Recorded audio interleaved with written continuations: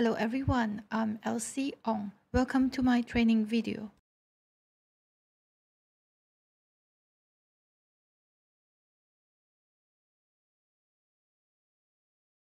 Welcome to the course on designing digital learning where innovation meets instructional excellence, tailored to meet the unique needs and preferences of adult learners. Instructional design is essential for creating engaging, accessible digital content that promotes learning.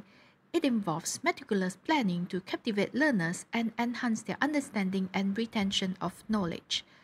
Prioritizing inclusivity, instructional designers ensure materials cater to diverse needs. Through effective strategies, content creators optimize learning, fostering comprehension and practical application of concepts. Ultimately, instructional design empowers learners to achieve learning objectives effectively and inclusively. Let's take a look at the program contents. This training covers a total of four modules for you to learn. The first module, Getting Started with Instructional Design, serves as an introduction to comprehending the characteristics and motivations of learners.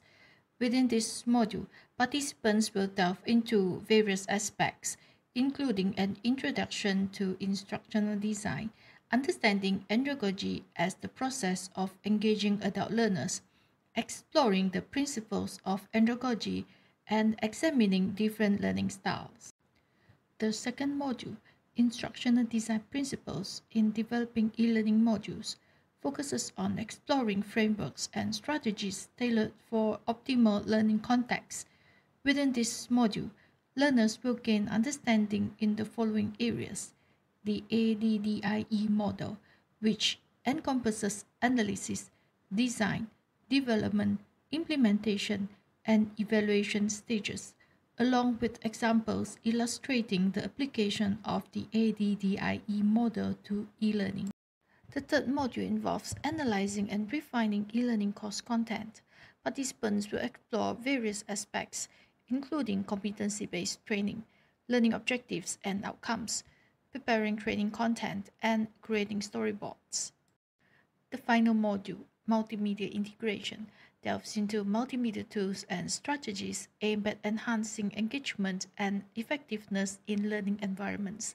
Within this module, participants will learn about the available tools for digital content, transferring curriculum to digital formats, and producing simple videos for digital content.